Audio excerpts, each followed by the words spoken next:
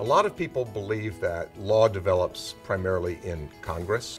Those people think that lawmaking in the United States is somewhat like an American football game, that there are plays, that the ball is hiked and that's when you pay attention is after the ball is hiked and before it's down. And the between plays you can just sit around and relax and catch your breath and get ready for the next play. I don't think that lawmaking is like that. I think it's more like soccer. I think the ball is always in play.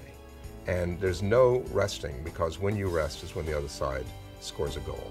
Service providers and the public need to be aware on how many different fronts the efforts are being made by the other side to restrict public choice, to restrict technologies, to impose limitations on freedom of design.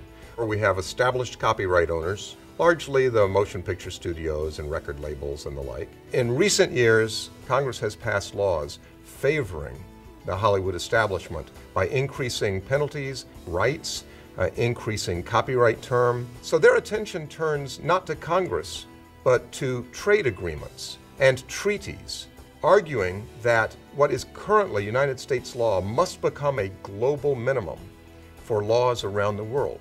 And the effect of this is that even if these trade agreements and treaties don't restrict any law as it now exists in the United States, it actually restricts Congress's ability to improve the law by cutting back on some of the excesses of recent years.